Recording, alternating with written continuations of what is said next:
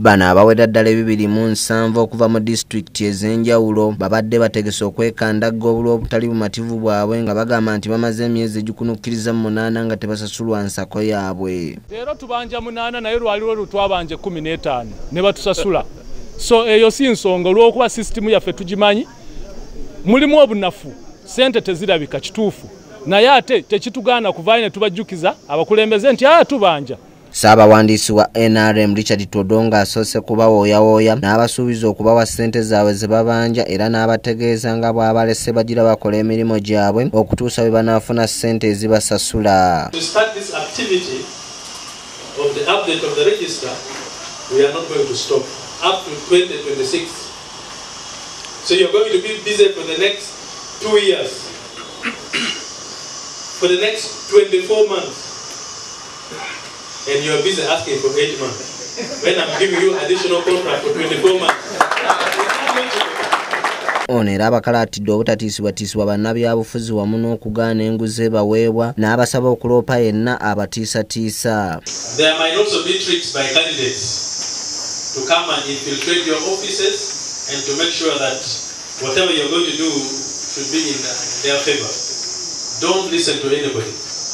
If someone is asking you for that, ask them to produce a letter from the secretariat that they have gone with. If there is no letter, don't listen to anybody. ate ye ssentebe w'akakiiko akalondesa mu nrm dr tanga odoi ategeezezza nga bano okwekandaga bwe kibadde tekyetaagisa nti kubanga bagenda kubasasula The payments which have not been done have again been with the Secretary General will be done. And there's no cause for alarm.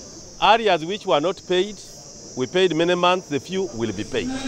They work during committee, women committee meetings, women committee elections. And those months, about three months, two were not paid. All will be paid.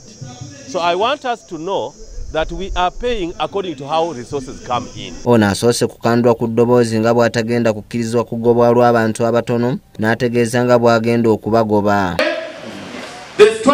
now saying you will do is this memorandum through the Secretary General.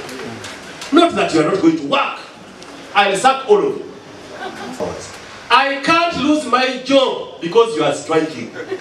I first sack you and replace you and then we continue negotiating. But why would we reach that?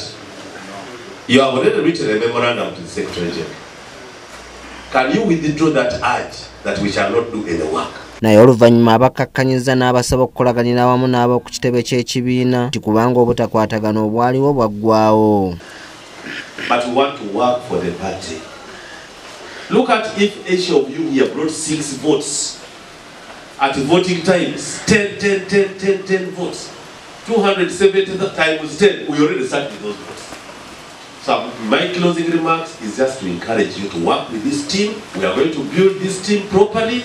By the time register comes, we know each other, they have visited you, rapport. If one of them is arrogant, raise it. oluvannyuma abeebazizza okuba abagumiikiriza n'okwewaayo okuweereza ekibiina I want to thank them for having done elections in the last season amidst threats from candidates. Candidates tearing district election officers apart because all of them want to win and yet the slots were few. They stood their ground, they were called names, they were backbite. The backbiting continues. We have letters in our offices here, some of them saying we should remove all district election officers and appoint new ones. ye akulira ba district electoral officer bano abategeezeza nga bwe baggyewo akeedimo ke babadde bategese wabaddeyo intimidation only that it is true we agreed as registrars nti waakiri tusooke tulindeko okufuna okusaininga contract paka nga batuwadde feedback ate kibadde kituufu nti abakulembeze baffe statement bagirabye mu baluwa ne batugamba nti bamaze okugiddamu lwokuba twogedde ne secretary general n'akola ki? N'ayogera. So secretary general akkiriza ensonga zaffe okuzikolako. Olw'eyo ensonga tubadde tulina okuvaayo ne tugamba nti oke tukiriza tujja kugenda mu maaso tukole ki? Tukole emirimu gy'ekibiina. Bano bakubaganyiza ku birowoozo ku biki ebibasoomooza wamu n'ebyo ebirina okukolebwa nga beeteekerateekera akalulu ka 2026 if God can allow, even if it is just uh, a motorcycle, it can really help us to coordinate. issues we had in the past elections have been emanating from the fake, fake register we had. Peter wandeme delta tv amasukulumu